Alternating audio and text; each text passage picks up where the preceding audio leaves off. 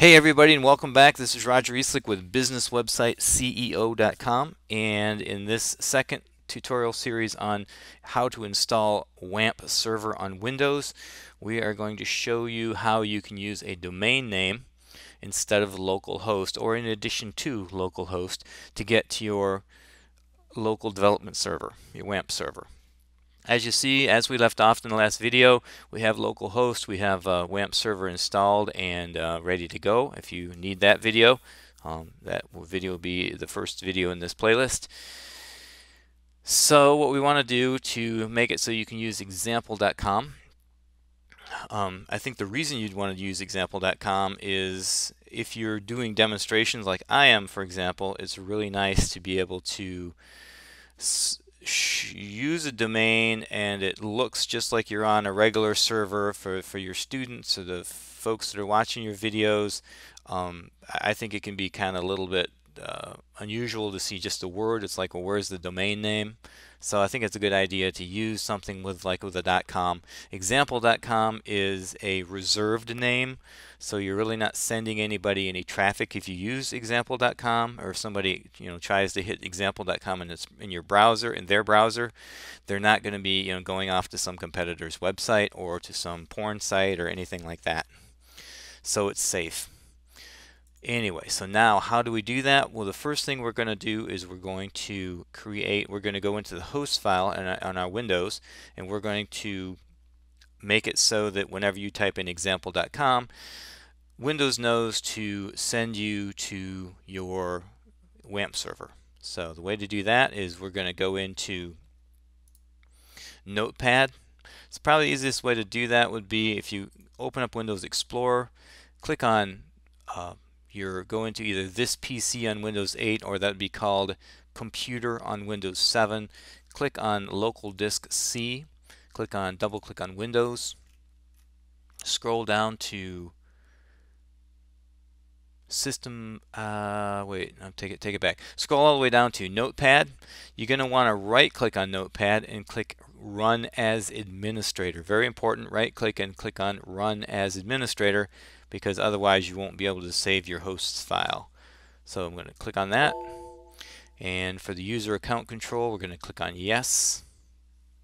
Now we have our notepad open and we're going to navigate to our host file. To do that, click on File, click on Open, click on your C local disk, click on Windows, double click, scroll down to System 32, double click on System 32, scroll down to Drivers, click on double click on drivers. You'd see an ETC folder. Double click on the ETC folder. And go down here to where it says text documents in case you don't see the host file right away and click on the drop down and select all files and then you should see your host file. Go ahead and highlight the host file and click open.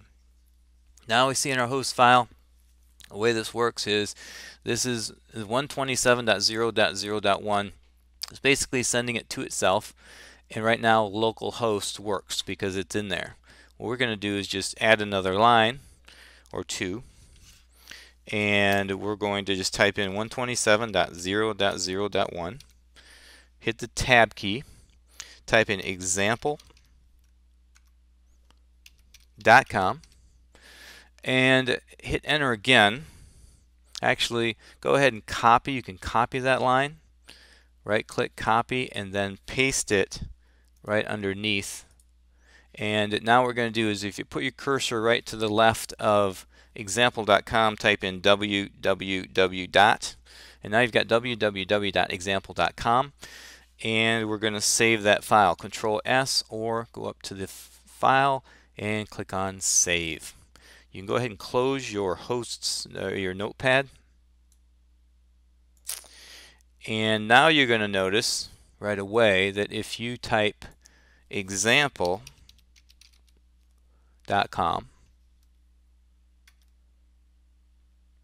you will get to the WAMP server. There is a couple more things we want to do here um, because right now we don't want to do any installations in the in this root folder where we're seeing this. We want to do subfolders. let me explain. If you open up your Windows Explorer and you click on your C drive and then double click on your WAMP directory or your, or your WAMP folder and then double click on www folder you'll see that this is where we are right now. This index.php is this file you see behind um, Windows Explorer okay? And what we want to do is we want, we want to do our, all of our installations all of our projects in project folders subfolders underneath www so to do that we're going to right click here and select new and then folder. And right now we're going to call that folder example and now the thing is we want to make sure that when we type in example.com we actually go to this folder. And now so to do that what we're going to do is we're going to go ahead and open up I'm going to open up a program called Notepad++ and uh, if you're not familiar with it you can go to Notepad type in Notepad++ into Google and you'll come to this page. It's a free program, open source, very cool, works very well. I highly recommend it if you don't have it already, but and it is free. So go ahead and download download that. And now we're going to go and open that up. So I already have it installed, of course. So let's open up our Notepad++. Get rid of that. Okay, and now what we want to do is we're going to edit a couple files within the WAMP server. So we're going to click on File and click on Open. And we're going to go up to our WAMP folder. And then what we're going to do is go into double click on bin, double click on Apache, double click on the Apache version. In, in our case, it's 2.4.9. Okay, and then double click on conf and you'll see this httpd.conf uh, conf file. Go ahead and highlight that, click on open. What we want to do there is you just want to do a control F to find because it's kind of hard to find down there and type in virtual hosts. Click enter and close your box. Now it's going to bring us to this line right here, virtual hosts, and you'll notice that under the line underneath it which starts with include also begins with a pound sign. It means it's commented out and it's not active. We're going to delete that pound sign and we're going to go up and we're going to save the file. We're going to close that. We're going to go back up and click on open and we're going to double click on extra. Underneath extra, second from the bottom, you should see a file or a file named httpd-vhosts.conf. Highlight that, click on open. Now what we've got, this gives us virtual hosts, which is what we need. Without getting into a lot of detail of what it does, we're going to edit this second one right here so that when we type in localhost, well actually when we type in example com, it's going to go to our example folder where we can put our project files. So what I'm going to do is on this one, I'm going to go down to this second one here and I'm just going to clean it up a little bit. I'm going to get rid of the dummy host 2. I'm going to, most importantly, I'm going to change the document root so instead of being whatever it says there, I'm going to put in C colon forward slash WAMP, that's our root folder, forward slash www forward slash example. Okay, and the server name, that's going to be example.com. And so you don't have a server alias. We should have a server alias. We'll grab this line right here. So go ahead and um, hit enter and type in server alias with a capital S and a capital A and then space and then type in example I'm sorry type in www.example.com com. Okay, that is all that we should need. Now what we can do up here is we can leave pretty much everything the same except that what we want to do here is we're going to make the server name localhost make the server alias localhost we're going to change the document root. We'll go ahead and copy this document root right here.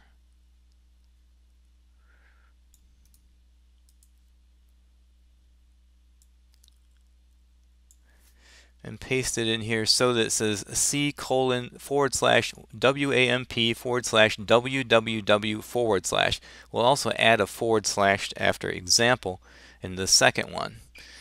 Okay, and now we want to save that. You can do Control S or File and then Save. And at this point what we need to do is we need to go down to our WAMP icon in the system tray, left click on that, go up to where it says Apache, over to where it says Service, and click on the Restart Service button. Okay, now at this point, if we hit example.com,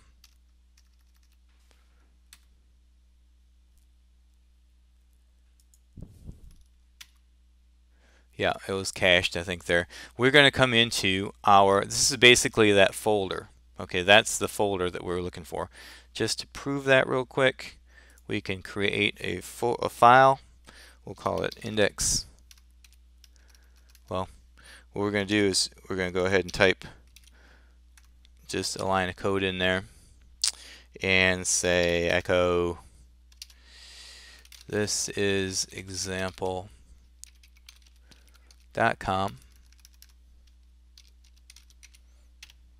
close it tag off. I'm not going to explain what this is just a little bit of PHP I'm going to save that to my WAMP folder. Whoops nope take it back. To my WAMP folder C WAMP folder www into the example right there and I'm going to call the file index.php alright so we've got that. Now what I'm expecting is when I do example.com alright so obviously I did something wrong. Echo this is okay I forgot my end quotation mark there. There you go one more time. This is example.com Okay, so now you've got your WAMP server installed, set up, and you have the ability to use uh, example.com to get to your virtual, uh, to get to your working project directories. If you type in localhost still, what you should get is this main page. I hope this has been helpful. Uh, thanks for watching. Have a great day.